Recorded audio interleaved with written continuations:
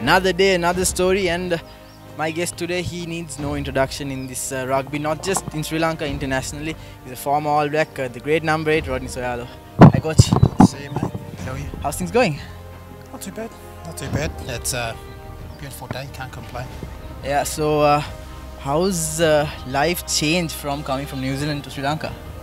Uh, yeah, they're coaching different people, but um, you know, um, I, I do what I'm doing here is uh, is obviously what I love doing, and that's coaching. So, um, giving what I can to to the rugby.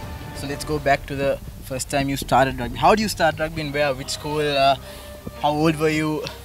Yeah, I think like all Kiwi kids, you know, you um, they all start off playing playing um, with your friends and family, and then um, when I first started playing rugby when I was 14 years old, so um, I played in the backs at that time, and then and then made my way to um, uh, to flanker at um, at the age of 17. So did you enjoy playing as a back or forward the most? Um, I I enjoyed the physicality. That's why I, that's why I joined the uh, forwards. Um, but I love the um, the the attack sort of uh, rugby. So But the um, back score all the tries, so that's also a point to like like being a back. Yeah, but uh, you know what what gave me satisfaction was more doing the work and and um, putting in you know the the, um, the hard yards. So talk about uh, your first All Black debut in Hmm. 2002 against Wales. If you could go back to that match, were you satisfied with how you performed in that game? Yeah, I think I didn't do it too badly. It was, um, you know, uh, the Welsh game was quite a um, exciting time, and uh, and obviously uh, we've never experienced a crowd like that before. Because in New Zealand you probably get maybe forty-five thousand. I, I think in um, Wales and the Welsh um, crowd we had ninety thousand, I think. So there's quite a um, big difference in in um, yeah the crowd sides. How did it feel wearing that All Black jersey for the first time and going to the middle of the field and doing the haka? Was it like a dream come true? Yeah, uh, for me it's more um, satisfaction for um, my family and friends and the people that um that have sacrificed a lot for me to get there. You know, so it was more gratitude and, and sort of um, repaying um, yeah tho- those people back, especially my parents. Not only in 15s, you played as a sevens player as well for New Zealand. It's not always that you see the same player playing in both formats of the game. So, what would you uh, consider as your favorite, the 15s or the sevens? Oh, definitely 15s. I mean, uh, sevens is, uh, is, a good game to um, to start with. You know, the attacking and, and, and seeing space, um, space awareness. So um, sevens is definitely that, but uh, 15s is more. Uh, Composure and structured. so you have. Well, there's a lot more physicality in, in the 15s. There's a lot more structure and and um, a lot more thinking that's involved in the 15s game. But that year, 2002, was a brilliant year for you in sevens, if I'm not mistaken, because the Commonwealth Games and then the uh, sevens World Cup. You're a gold medalist in both. So, talk us through that journey.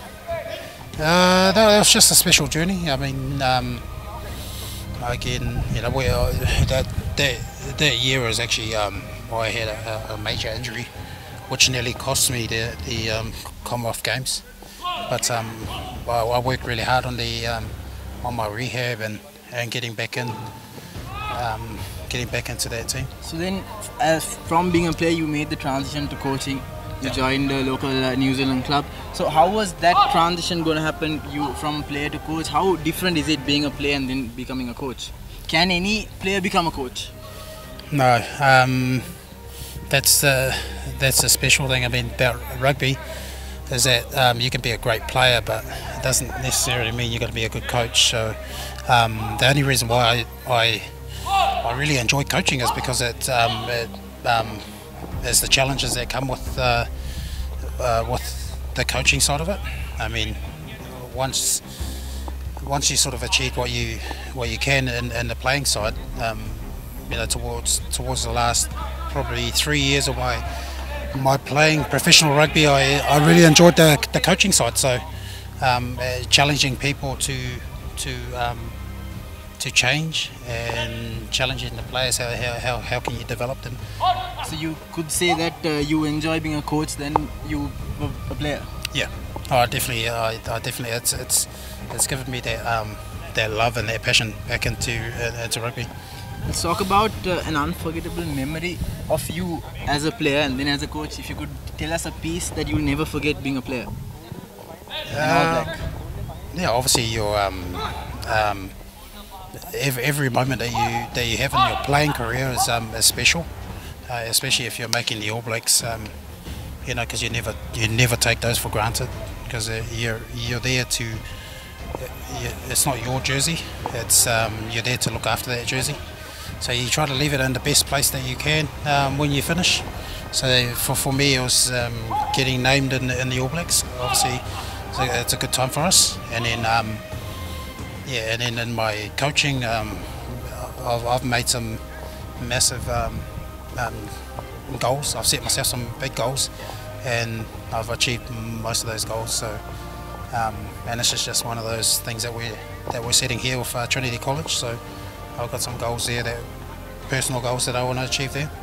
How has the change been coming from New Zealand, coming to a country that's not standard of rugby is not as high as New Zealand, but coming here and coaching, how has that uh, challenge been to you? Well, it's been good. Uh, that's exactly the reason why I came here, um, because uh, you know I, I want to go as high as I can in the coaching, and the best way to do that is not to be complacent and and coach somewhere that um, that needs to be coached. Um, so um, yeah, if you if you're gonna if you're gonna develop and find out how good of a coach you are, go and coach somewhere that you. And that's my only challenge to other coaches is that um, is that you you know go go and go and experience um, coaching um, a place that needs to be coached. So what would you say is the difference between rugby in Sri Lanka and rugby there? What have you seen so far in your time here in Sri Lanka? What what is the difference between the structure of Sri Lankan rugby and rugby over there? Well, there's a few things. I mean, the logistic stuff that, that needs to be sorted out here. Um, but the difference in in the rugby, it's um, there's a lot of lot of passion here um, for rugby uh, in, in, Sri Lanka. I, I, think it's slightly more than um, New Zealand, to be honest.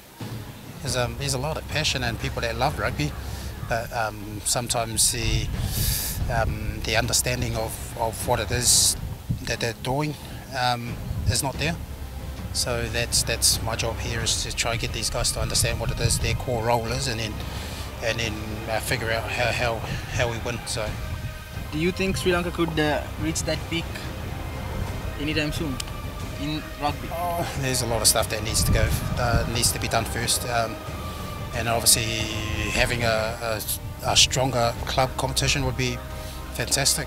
I mean, uh, the club competition here is. Um, just eight teams and not that yeah. standard. Yeah, and uh, there's there's um there's a massive um, difference between Club you know, clubs or oh, a club to another club. So so if you want to create competition, you need um, you, you need stronger stronger competition. Talking about uh, Trinity College, yeah. how has uh, the team been to you? Are you happy with how they're faring so far? Yeah, the boys are really um, they're really really working hard um, from where they were um, at the beginning it's um, to, to, where they are now. You know, we're, we're not there, no, we're not there yet, but um, but I'm happy with the progress that's happening. Was there a lot to change when you came here, or were they at a, a certain standard? No, there's a lot that needed to be changed, um, um, and I think the boys are taking that really, really on board and, and working hard. So, if you could say that there's one goal now, as uh, that you set, like you said earlier, what would that goal be? Our, goal here is just to enjoy the rugby, um, to be honest. But uh, yeah, we have we do have personal goals that we that we want to achieve. Uh, but the first thing for us is just to um, create competition in, in, in, the school first, and then uh, in, in, Trinity College, um, and then and then we'll focus on on the other stuff as well. All right, coach. Uh, thank you so much for your time. Thank you so much. So I wish you all the very best uh, with your team and with your personal goals. So that was uh, Rodney So'oialo and all that great who just uh, spoke to us. So stay locked to thepapare.com. We bring you more videos like this. Subscribe to our YouTube channel for more videos like this. And don't forget to hit the bell icon for our latest content.